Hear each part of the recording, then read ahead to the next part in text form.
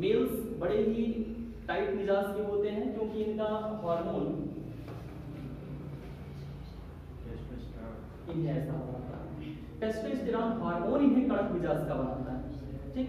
इसलिए males can not love जबकि females can only females can love सिर्फ़ females ही प्रेम कर सकती हैं मेल्स नहीं।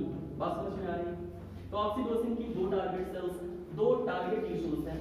एक यूट्रस और दूसरा होता है ब्रेस्ट बच्चे के जन्म के पश्चात यूट्रस को जो यूट्रस फैल करके काफ़ी ब्रॉड हो चुका था,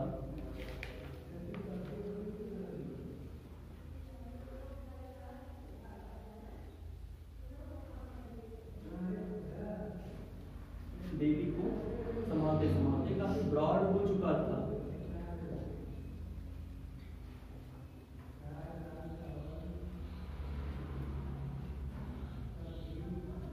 इस प्रकार से काफ़ी चौड़ाई इसकी बढ़ चुकी थी।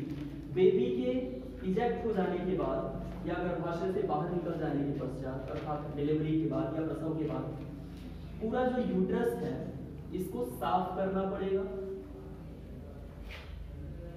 और दूसरी चीज़ ऑक्सीटोसिन के स्ट्रावर से जो यूट्रस है, इसको भीतर की ओर एकदम से वैसे ही इसका पॉस्चर सेट कर दिया जाएगा, जैसे ये पहले कभी रहा करता था। ठीक? तो इसको संतुलित करने के लिए ऑक्सीटोसिन की आवश्यकता पड़ती है इस प्रकार से। ठीक? बाकी ओवरीज अपनी जगह होती है